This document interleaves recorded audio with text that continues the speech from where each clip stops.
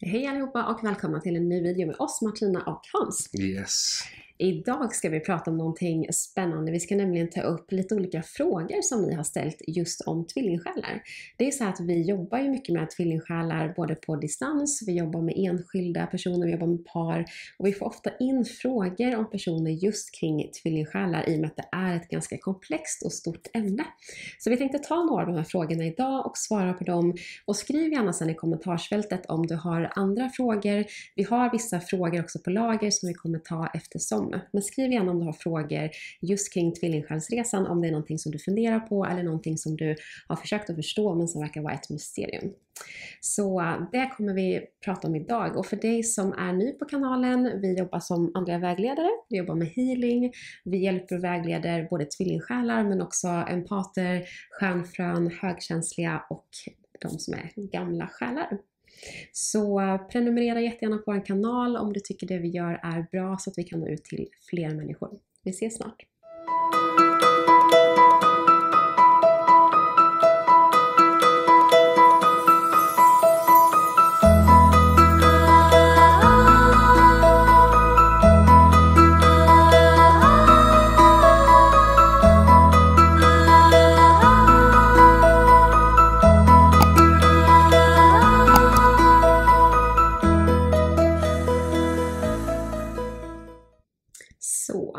Det här med tvillingsjälar. Det är ju så här att vi är ju tvillingsjälar yes. och vi har gått igenom en hel del på vår resa. Mm. Vi kommer inte ta upp så mycket om vår resa idag. Vi kommer göra det någon gång längre fram, men ja. vi har inte riktigt kommit dit. Men däremot så kanske vi lägger in lite av våra egna erfarenheter också. Och det är så här att det här är ju en väldigt utmanande resa på många, många plan och på många sätt. Och vi kommer inte ta upp idag just specifikt vad tvillingsjälar är, utan vi har andra videos där vi berättar lite mer ingående om vad tvillingsjälar är, vad som är syftet och det här med triggers och olika saker. Så om du är intresserad av det så kan vi ge lite länkar här i informationsfältet. Men i alla fall det här med tvillingsjälar. Det är ju så här att vi har nu gått in i år 2022 och det här kommer bli ett väldigt händelserikt eh, år på många sätt och många personer kommer också att träffa fler personer inom själsgrupper, inom sin själsfamilj och många tvillingsjälar kommer också att träffas. Och det är ju ett syfte med det och det är ju att vi är ju inne i den här stora kollektiva, upp, kollektiva uppstigningen nu på jorden där allt fler och fler tvillingsjälar möts. Och det är det här vi ska prata lite om idag. Varför är det så mycket utmaningar? Och vi har valt tre frågor idag mm. som vi tänkte ta upp. Tre lite återkommande och ganska stora frågor som vi vet att många ställer sig. Och för att säga lite kort bara, vad är det som är viktigt att tänka på på tvillingsjälsresan? Det här som vi säger i den här videon är sånt som vi själva har märkt jättemycket i vårt jobb med våra klienter, också på en egen resa såklart, och det är också information som vi får till oss av våra guider. Det första är två ledord kan man säga som handlar om ödmjukhet och tillit. Mm. Och det här kan låta som lite basala och ganska enkla saker. Men när det kommer till tvillingsjälsresan, för er som är på den resan så vet ni garanterat att det inte alltid är så lätt. Vi har så mycket saker som kommer upp och när det gäller att verkligen vara ödmjuk mot sig själv i den här processen så kan det krävas väldigt, väldigt mycket arbete och en lång väg för att komma dit. Och tillit handlar jättemycket om att hitta en tillit i processen, att allting är som det ska hela tiden oavsett om vi här på Eh, ett egobaserat sätt eller i det tredimensionella kan uppleva saker som fel eller jobbigt så är allting som det ska och det finns en plan med allting som sker. Så det är det första vi vill säga om den här resan. Och sen är det också väldigt viktigt att vara medveten om att vi speglar varandra väldigt mycket. Så allting vi upplever eller har svårt för i vår tvillingsjäl är också i princip alltid någonting vi har svårt för i oss själva. Om vi tar ett vanligt exempel, att din tvillingsjäl är någon annanstans.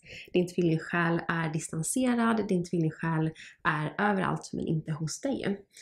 Då kan vi prata om att det finns någon form av distans. Och då är det viktigt att titta på, okej, okay, han är distanserad. Var finns det distans i mig? Var är jag distanserad gentemot mig själv? Därför att din mm. tvillingsjäl speglar mycket din relation med dig själv och vad du har inom dig, vilket gör det hela så otroligt tufft många gånger, men också otroligt läkande och otroligt häftigt. Så är det. Så, första frågan.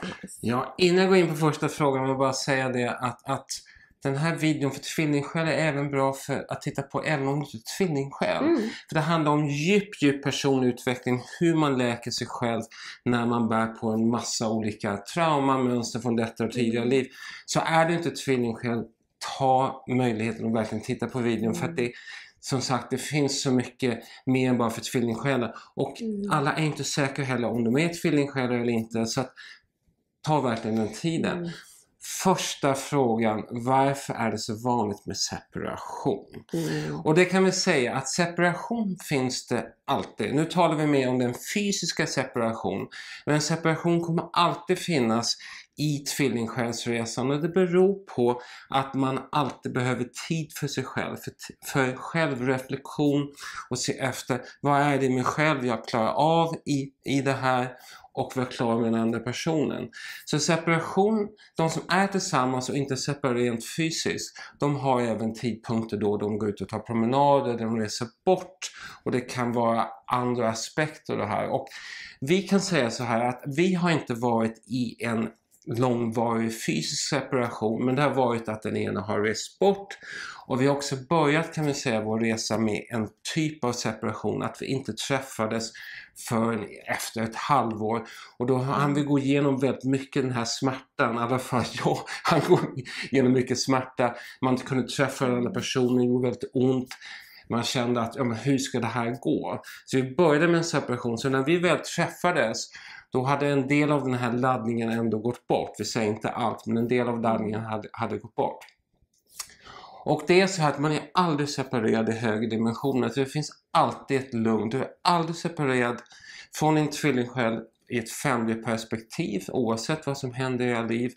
Och du är aldrig separerad egentligen från alltet. Så universum och högre guider, du har alltid en koppling och det är där man ska lära sig att bara få trygghet. Mm. Du är aldrig separation. Problemet är, vi känner av den här separationen väldigt starkt i 3D. Och ofta beror separationen på flera saker och en vanlig orsak är att man inte orkar möta det man har inom sig själv eller de andra bär på. Mm. Så säg till exempel att, att Martina bär på saker som har att göra med att hon har känt sig otrygg under uppväxten, att hon känner att hon inte eh, är okej som hon är. Och då när hon går in och börjar läka det här, när man träffar sin tvillingsjäl så börjar man läka saker för man får ihop den här energin, att det gör kraftfulla läkningsprocesser. Då kommer det här upp till ytan för henne och när det kommer upp till ytan för henne så kommer det också väcka samma sak i mig. Vad har jag för otrygghet i mig själv? Och det är självklart jag har. Så att många människor som är tvillingsjälar har också väldigt, väldigt dysfunktionella bakgrunder i detta och tidigare liv. Och det är för att man ska lära sig att läka det. Och då känner jag av det här i mig själv och tycker att det är väldigt obehagligt. Men på det här så känner jag också av, inte alla känner av lika mycket. Jag känner av väldigt, väldigt mycket, vissa känner av mindre. Då känner man också av sin tvilling själv, så jag känner av allt Martina bär på. Så att det blir i mångfald. Och sen kan man också ta upp kollektiva grejer. Och är man inte riktigt insatt i det här eller att man bara känner att det här är överväldigande då kan det ibland bli så att jag känner att jag orkar inte med någonting annat än att gå in i fysisk separation. Mm. Och då går vissa in i separation och man kan börja reflektera och jobba på sig själv och så kan man komma tillbaks. Och det krävs väldigt mycket ödmjukhet och medvetenhet för att göra det här i balans. Vissa går i separation och sen kanske man aldrig kommer tillbaks till varandra. Men, men det finns en poäng att gå i separation oavsett om man är tillsammans eller inte. Mm. Eh, och eh, vad vi kan säga är att eh, till exempel det kommer upp mycket gammalt och det kan vara så svårt att hantera de här delarna som är kvar i det gamla så att Martinas delar det liksom kommer och kommer och kommer och mina kommer och kommer. Och det är så att vi har jobbat med healing innan det här. Jag har jobbat en lång erfarenhet och Martina har jobbat väldigt mycket på sig själv. Men de här aspekterna som kommer upp i tvillingsjälsresan, de blir, det blir som att Nej men har jag jobbat på mig själv? Det var som en överraskning. Jag hade så mycket saker som inte jag hade kunnat ta tag i. Så det kommer verkligen från djupet kommer upp. Och väldigt, väldigt många, vi skulle säga det att i stort sett alla vi har träffat har på något sätt gått in i alltid separation. Mm. Det har liksom varit bara wow, det här klarar jag inte av. Mm. Vad man kan säga är, att också att eh, uppfatta kanske inte det här som negativt. Separation är ju någonting uppfattat på jorden, man är tillsammans med någon eller inte, vi har till och med äktenskap, vi har sambo, vad det är. Men separationen är egentligen inte negativ utan det är en naturlig del om man inte orkar med den här kontakten med varandra. Och det är så att håller man kvar kontakten, man måste hålla kvar det här, då kan det bli så överväldigande att man kan verkligen bli negativ i relationen. Mm.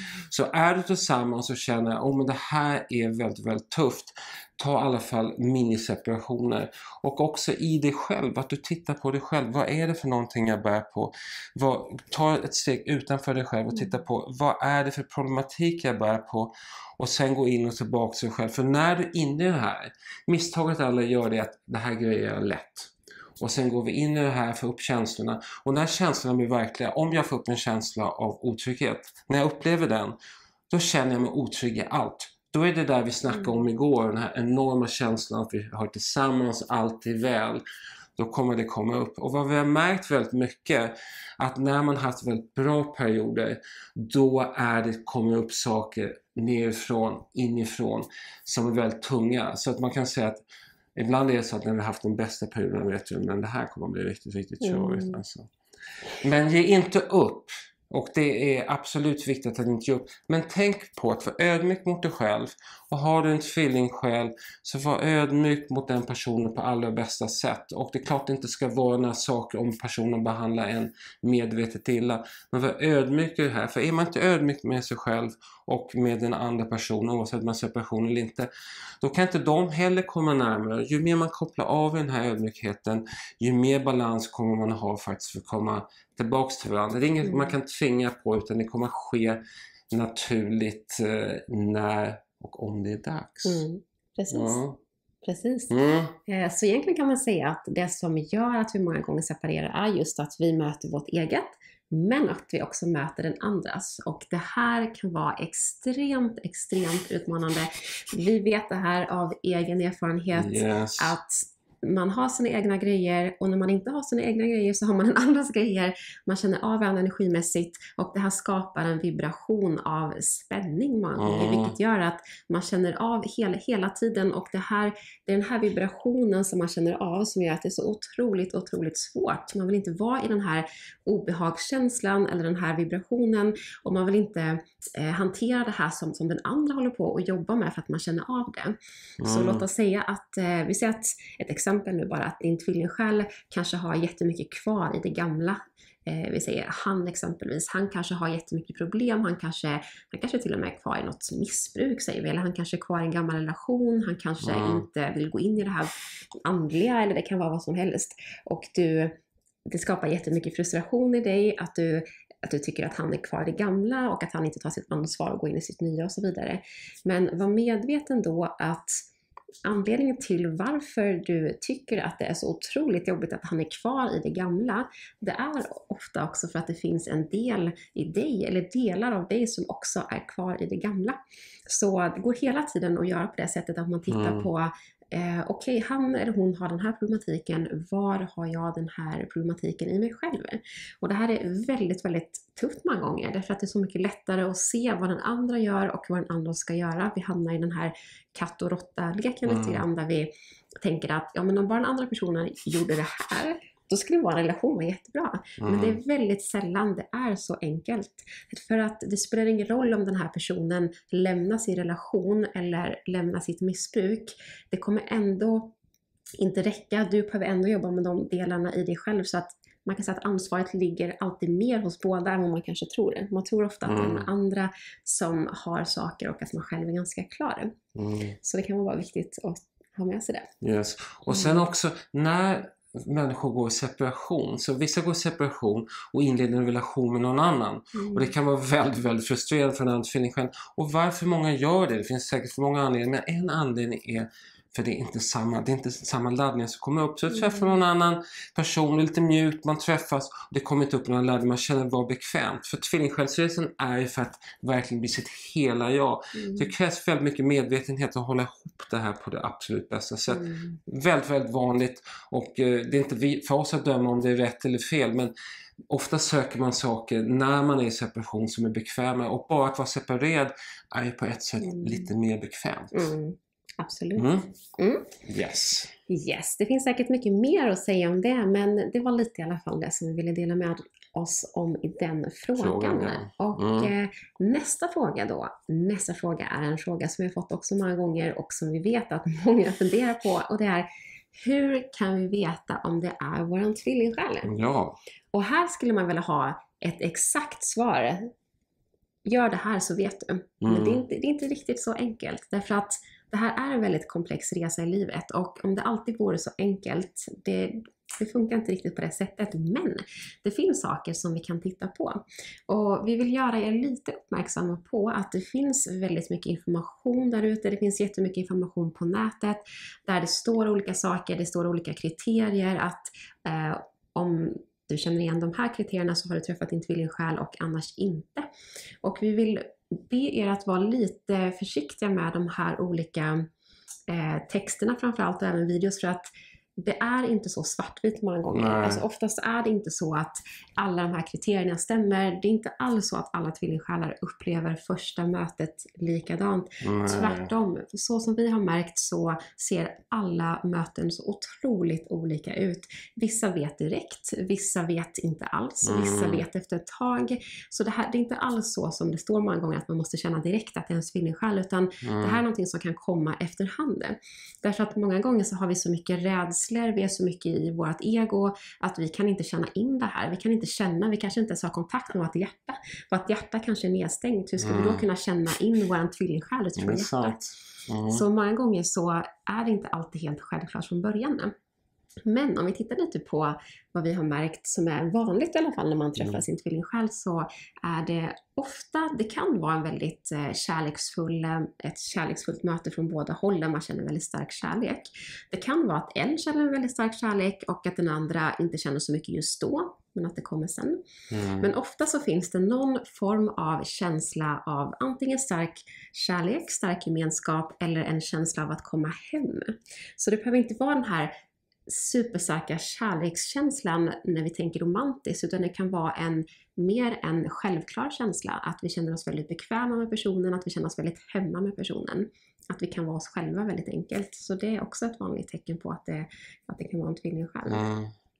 Så mycket känsla av att komma hem, känslor av kärlek, men det kan också vara en känsla av att vi bara känner eller vet att det här är en väldigt viktig person i Mm. ens liv. Vi kanske känner att wow, den här personen kommer verkligen eh, betyda mycket för mig den här personen kommer verkligen förändra mitt liv. Det här är någonting stort. Det kan också vara sådana känslor man känner. Det är det jag känner nu. Jag, jag fick, jag fick så här tårar i ögonen Mm. för jag känner någon känsla för Martina nu. Så det blev, Mm. blev väldigt överväldigande. Men det, vi Det kör är på, vi kör på, vi kör på. Skönt men samtidigt kom det upp känslor. Mm, det är okej. Ja. Det är okej. det är okej att känna känslor. yes! Eh, nej, så, så det där kan vara väldigt Mm. olika då. Eh, men som... Sen är det ju så också att när det gäller vår tvillingsjäl så... Vi ska säga att det ganska ofta så sker tvillingsjälsmötet lite eh, oväntat eller Mm. kanske, kanske lite på ett annorlunda sätt än vad vi tänker oss rent normalt sett. Mm. Det kan vara så att man går ut och dansar på puben och träffar sin tvillingsjäl men vad vi har hört mycket i våra berättelser så handlar det väldigt ofta om att man träffas när man kanske inte riktigt är inställd på att träffa någon, man kanske redan är i relation eller man kanske möts på ett lite märkligt sätt. Mm. Ofta finns det lite synkroniciteter runt om, att man kanske har fått veta någonting innan eller fått till sig någonting eller man kanske har fått information från guider. Men det är inte alltid det är så, så haka inte upp er på det om det inte är så att ni har fått information av era guider. Mm. Och det är inte heller alltid så, det vill jag också understryka, att det är inte heller så att alla från början har alla möjliga upplevelser av eh, telepati eller att alla drömmer astrala grejer. Alltså, det där är, det är mycket som kan utvecklas utvecklas under tiden och det beror också mycket på vad man har för uppdrag, vad man har för utvecklade förmågor i det här livet och vilken typ av själ du är. Så haka inte upp dig för mycket på de här eh, att det måste vara vissa grejer som ingår. Mm. Utan känsla av att komma hem, känsla av att det är någonting stort på gång eller bara en, eh, ja, eller så kan det vara så att det kommer efterhand. Mm. Men om vi tittar bara lite, lite kort på om vi jämför en eh, tvillingsjälsrelation med en lite mer karmisk relation. Och karmisk relation kan ju vara väldigt blandat, men nu menar vi kanske mer en ren karmisk relation där det är lite mer det här eh, maktobalans eller när man, ja, det är en karmisk eh, kärleksrelation eller intim relation. Mm. Så tvillingsjälsrelationen är mer kopplat med våra högre chakran. Det är mer kopplat med vårt hjärta. Vi känner ofta den andra via hjärtat. Det finns ofta en längtan utifrån hjärtat. Det hjälper oss ofta att komma i kontakt mer med vår själ och vår andlighet. Och när vi är med personen så känner vi oss på något sätt närmare oss själva. Vi känner oss mer i balans och vi känner oss närmare vår eh, våran själ helt enkelt. Medan när vi träffar en karmisk relation så kan det också vara väldigt starkt från början. Men ofta så är den karmiska relationen mer uppbyggd kring våra lägre chakran. såsom exempelvis eh, sakralchakrat och rotchakrat. Det är ofta mycket kopplat till Eh, det kan vara lust. Så när det gäller tvillingsjälar så är det ofta kopplat med, med, med, hjärtat på ett annat sätt. Att man längtar efter att vara med personen energimässigt utifrån mm. hjärtat. Medan en karmisk relation kan vara mer att man har med det här med stark lust, det begär, ofta någon form av maktobalans. Det kan vara lite obekväm att vara med personen. Så mycket det som är kopplat helt enkelt med mer det här så kallade 3D-tänket och mer till våra lägre chakran. Så det är ett sätt också man kan urskilja lite att var hur känns den här relationen? Hur känns den här kontakten? Är det utifrån det här lite mer eh, klassiska som man upplever i en 3D-relation? Eller är det mer en inre längtan, mer kopplat mm. till, till hjärtat, själen, längtan och så vidare. Så det, det, är någonting som man kan fundera lite på. Det måste man avgöra i sig själv. Och sen är det en sak till som man kan titta lite på där och det är just att när det gäller tvillingsjälar så brukar det nästan alltid finnas någon form av gemensam inre längtan hos tvillingsjälar. Det kan vara exempelvis att båda har haft en längtan hela livet att hjälpa människor. Det behöver inte vara att båda alltid haft en längtan att kanske jobba med andlighet eller healing, men att båda kanske haft en längtan efter att hjälpa människor. Eller att båda haft en längtan efter att eh, utvecklas väldigt mycket mm. själsligt. Så ofta att man att det har funnits någon form av djupare gemensamma intressen eller längtan. Medan en karmisk relation ofta är lite mer baserat återigen på det här 3D-tänket. Eh, kanske lite mer det här eh, fysiska attraktion, sexualitet bara, eh, lite mer praktiska saker och lite mer det som vi tänker är kopplat med till de lägre chakran igen. Då.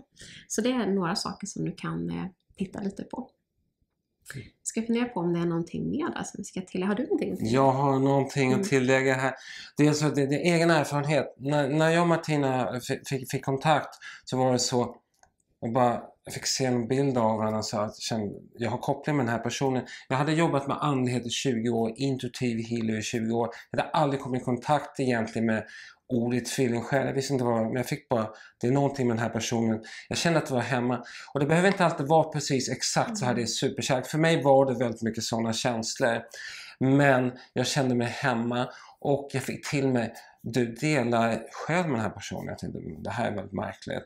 Och, och, eh, så att det var på det sättet det satte igång. Men när det satte igång sådär så var det ändå väldigt mycket man behövde förstå och utveckla i sig själv och sen till slut kunde vi börja diskutera. För vi visste inte, vi hade inget att diskutera eftersom vi inte riktigt visste att vi hade den här kontakten.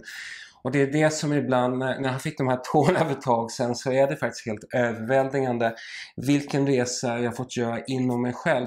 Jag hittade hem i mig själv genom att hitta Martina och liksom bara wow, hur är det här möjligt? Som sagt, det var ingenting jag letade efter, den kom bara så apropå. Men, men det har varit en fantastisk resa och, och som, som det här i början att folk ska tro att man träffas, det är bara wow, sexuell attraktion, obegränsad och sånt där.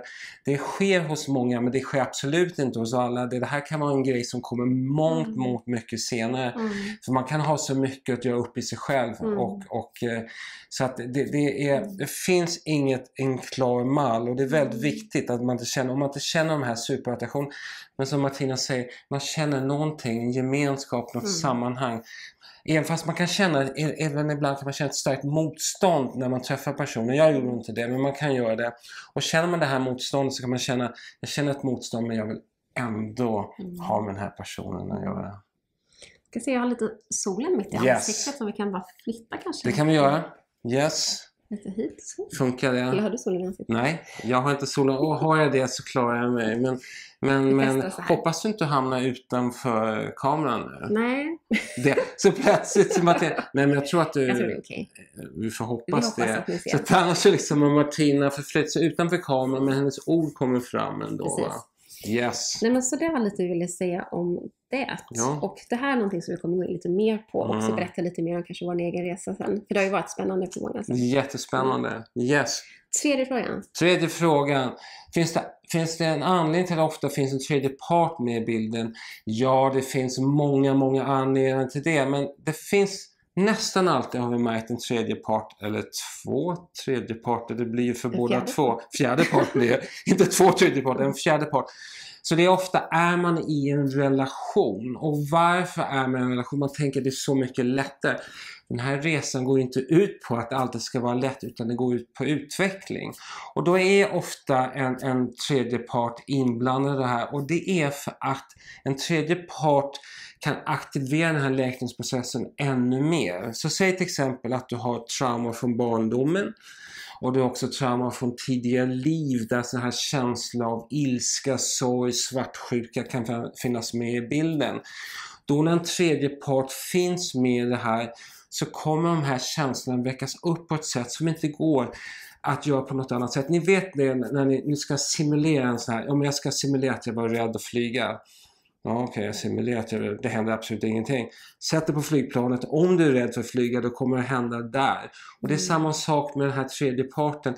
När en tredje part är inblandad så känner man bara det här är jobbigt och det kommer väldigt jobbiga känslor.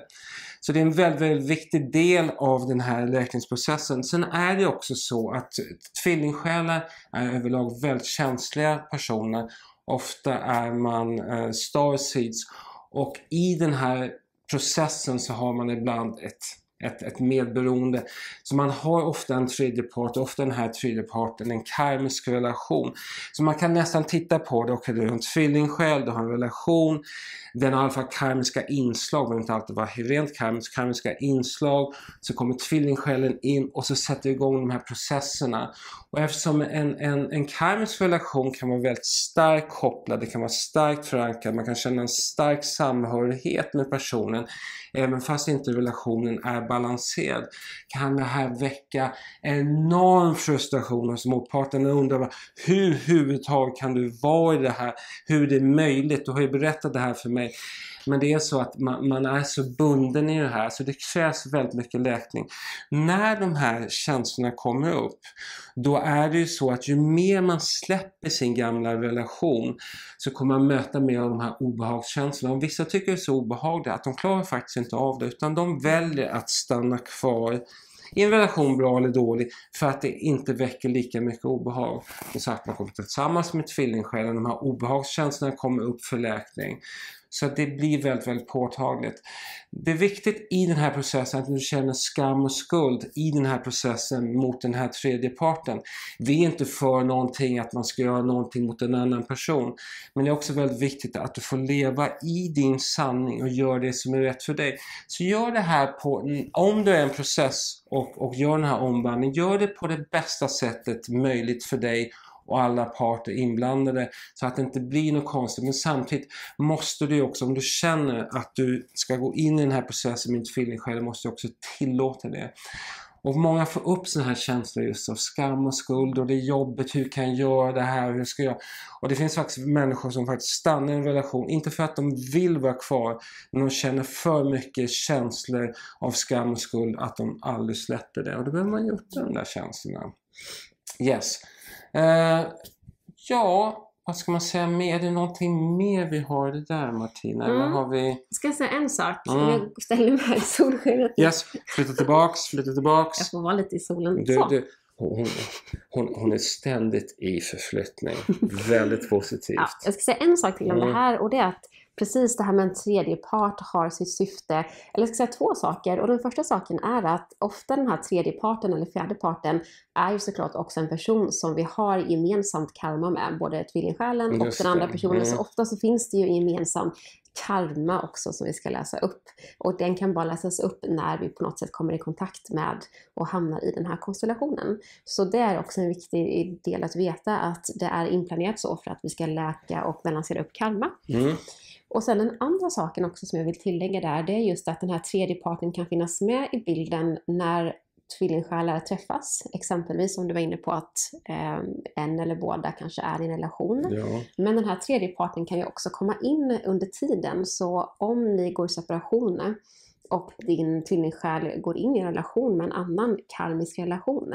Det här är någonting som kan tyckas vara otroligt märkligt och hur kan min tvillingsjäl välja att vara med den här personen när Mm. vi har någonting så fint? Mm. Men det som är också viktigt att veta då, att det här också kan vara någonting som är faktiskt en del av resan. Det kanske är så att eh, din tvillingsjäl har vissa karmiska saker kvar att läsa upp med den här personen.